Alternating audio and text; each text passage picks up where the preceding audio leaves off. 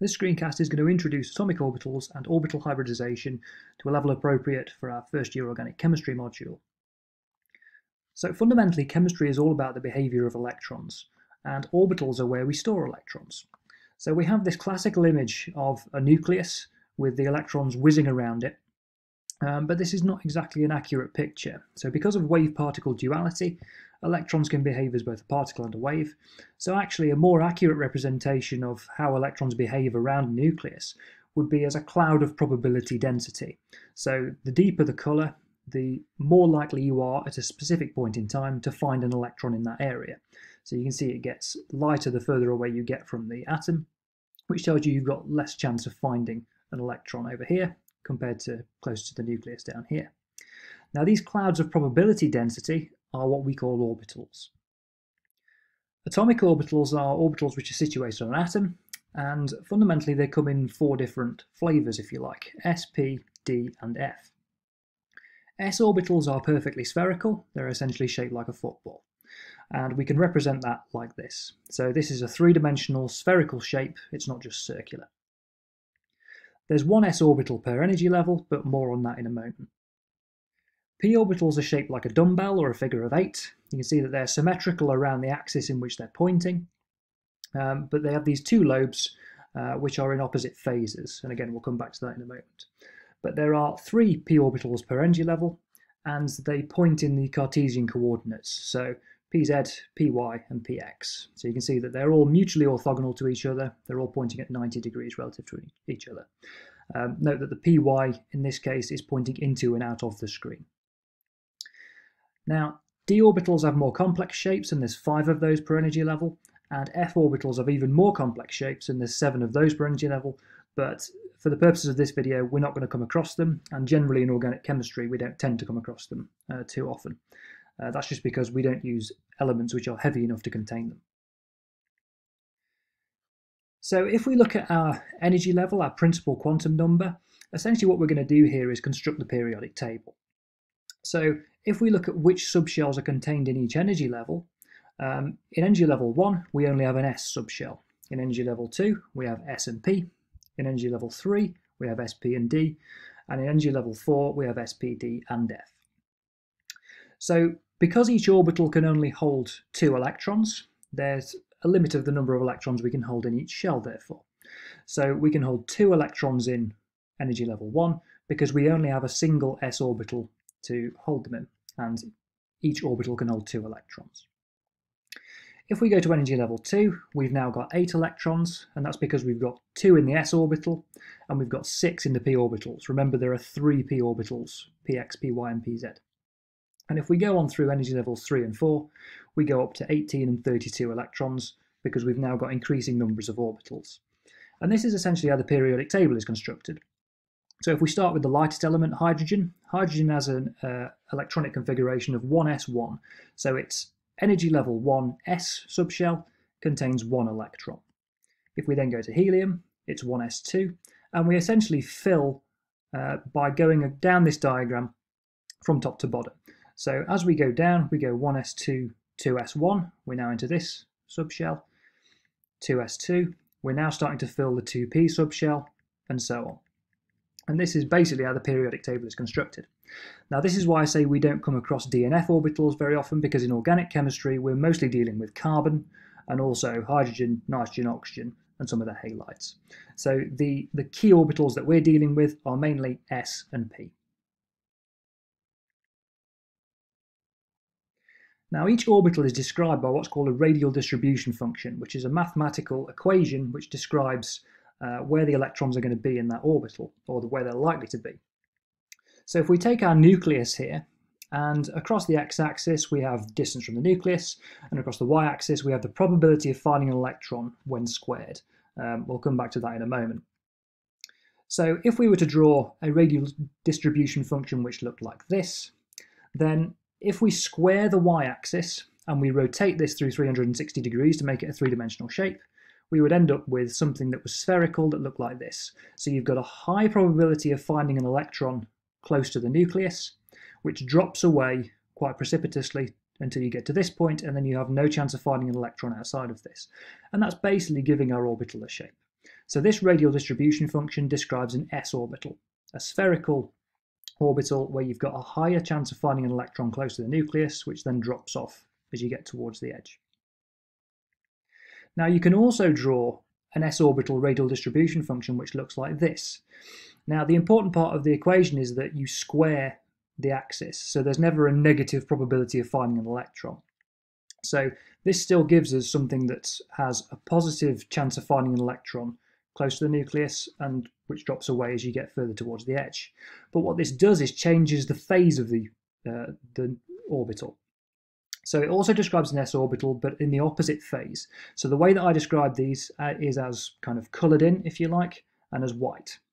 So this will become important later on when we start making molecular orbitals, but for now you just need to know that an s orbital can exist as either of these two phases.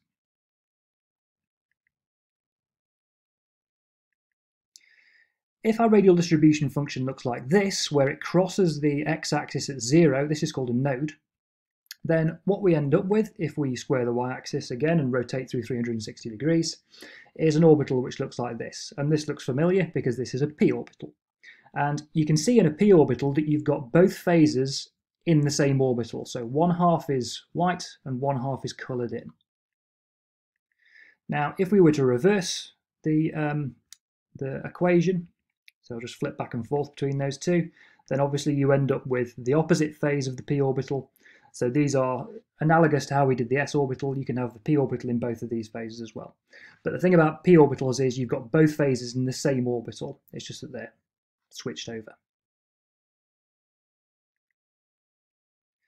Now, if we want to form bonds with s and p atomic orbitals as they are, so let's take a carbon atom. Uh, we've got an s orbital, which is spherical, and we've got the px, the py, and the pz orbitals. So let's start forming some bonds to these orbitals.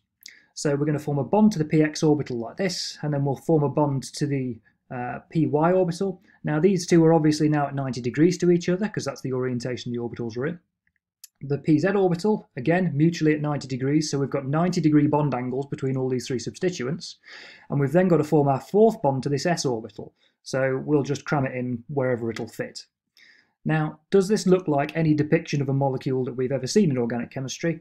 Well, not really, because all single bonded carbon is tetrahedral, uh, double bonded carbon is trigonal, trigonal planar, and triple bonded carbon is linear. So nowhere do we get these 90 degree bond angles. So in tetrahedral, bond angles are 109.5 degrees. So something's not quite right here.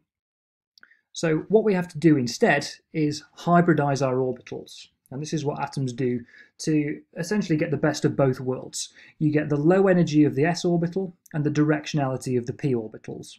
And it also makes your orbitals degenerate or equivalent in energy, which stops you having very strangely shaped molecules. So if we were to um, mix these orbitals together, which is essentially what hybridization is, there's a number of ways we could do it. We could mix everything. So we mix the s orbital with all three of the p orbitals. We could mix the s orbital with two of the p orbitals, which leaves one of the p orbitals left over. Um, and it doesn't matter which two orbitals you pick out of the p orbitals, they're all degenerate, they've all got the same energy. So picking these two is the same as picking these two. Or we could mix one s and one p orbital and leave two p orbitals left over. Those are the three different ways we can mix orbitals in this process called hybridization. So one rule to, to bear in mind when you're mixing orbitals, whether it's atomic orbitals or later when we get onto molecular orbitals, is the number of orbitals you mix into the process has to equal the number of orbitals which come out. You can't create or destroy matter.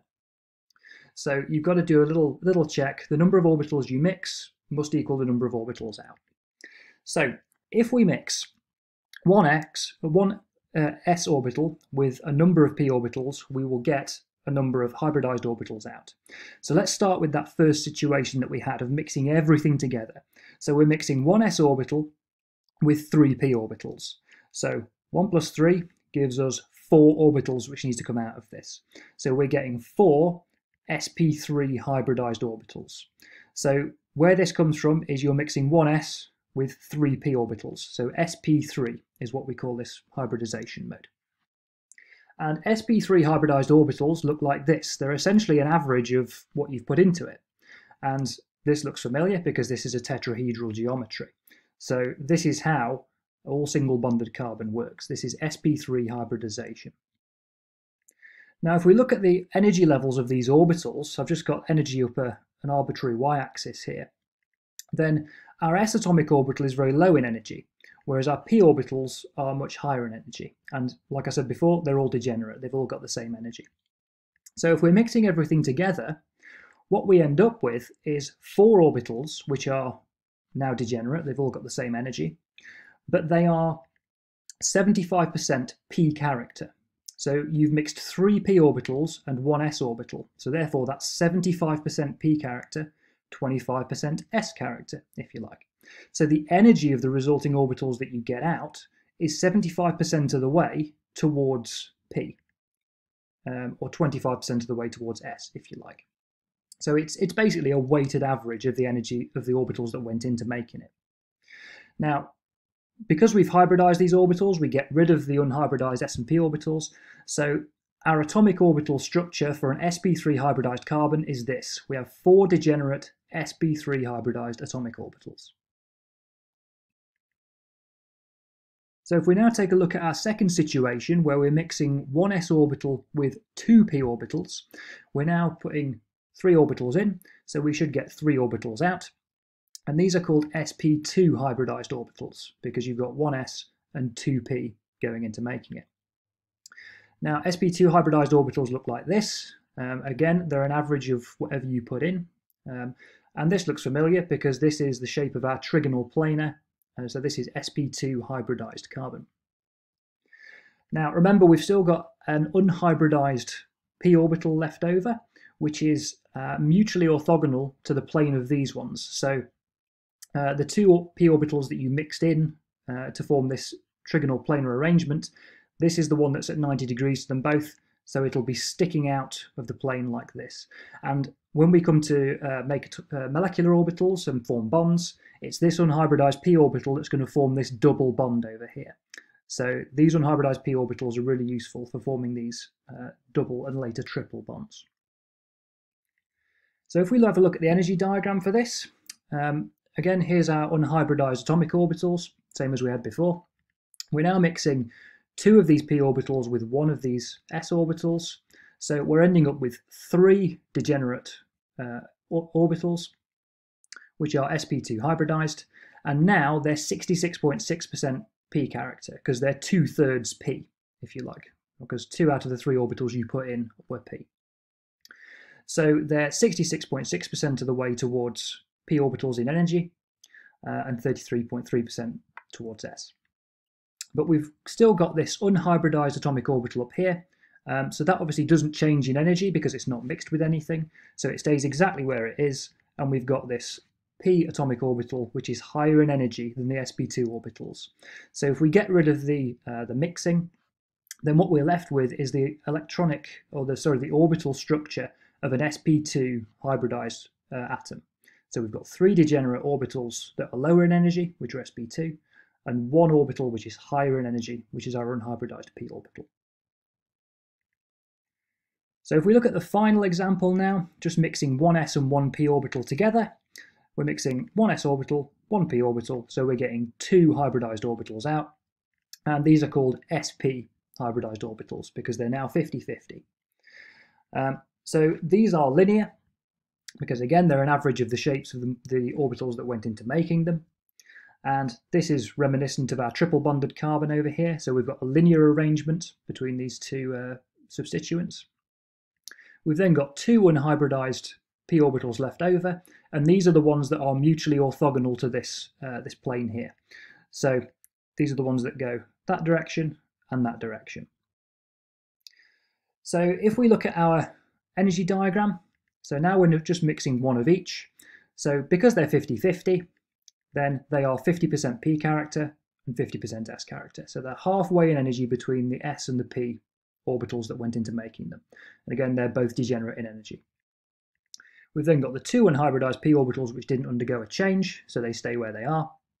Um, so we've now got this uh, orbital configuration where you've got two orbitals which are lower in energy, and they're your sp hybridized orbitals, and you've got two orbitals which are higher in energy, and then they're your unhybridized p atomic orbitals.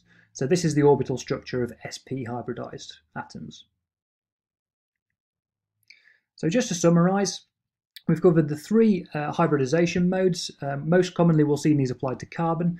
So sp3 hybridized carbon uh, has four equivalent orbitals, which forms four uh, bonds to four substituents. This is tetrahedral.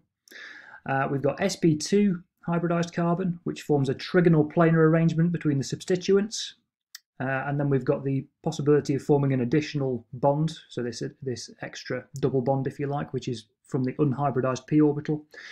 And then we've got sp hybridized carbon, uh, which forms a linear arrangement, and we've got the possibility of forming two bonds to two substituents and then two additional bonds. Um, and we'll come on to those in a later video about forming molecular orbitals.